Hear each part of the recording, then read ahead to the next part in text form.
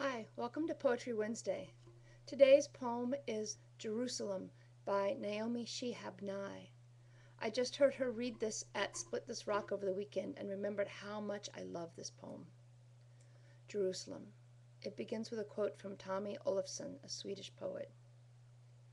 Let's be the same wound if we must bleed. Let's fight side by side, even if the enemy is ourselves. I am yours, you are mine. I'm not interested in who suffered the most. I'm interested in people getting over it. Once, when my father was a boy, a stone hit him on the head. Hair would never grow there. Our fingers found the tender spot and its riddle. The boy who has fallen stands up.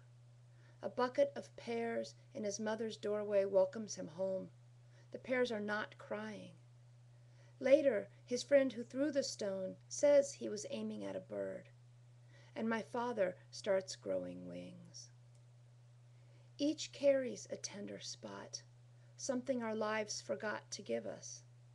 A man builds a house and says, I am native now. A woman speaks to a tree in place of her son, and olives come. A child's poem says, I don't like wars, they end up with monuments. He's painting a bird with wings wide enough to cover two roofs at once.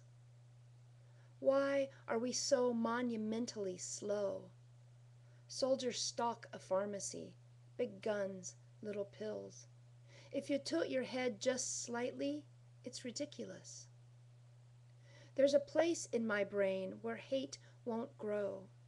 I touch its riddle, wind and seeds. Something pokes us as we sleep. It's late, but everything comes next.